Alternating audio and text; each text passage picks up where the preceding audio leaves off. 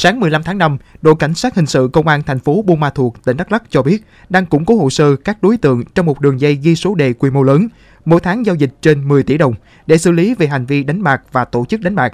Trước đó, chiều tối ngày 12 tháng 5, đội cảnh sát hình sự của công an thành phố đã đồng loạt kiểm tra và bắt quả tang nhiều điểm trong một đường dây đang tổ chức ghi số đề cho các con bạc trên địa bàn thành phố. Cầm đầu đường dây này được xác định là Hồ Thị Thanh Nhi, 36 tuổi, trú tại phường Tân Lập, thành phố Buôn Ma Thuột.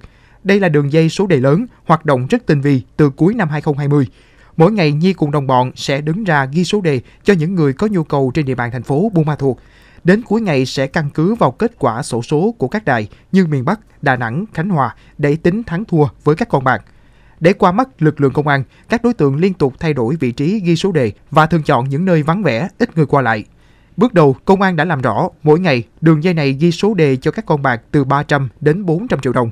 Trung bình mỗi tháng số tiền giao dịch ghi số đề trên 10 tỷ đồng. Hiện công an thành phố Buôn Ma Thuột đã ra quyết định tạm giữ hình sự 4 đối tượng và đang củng cố hồ sơ để xử lý 8 đối tượng khác.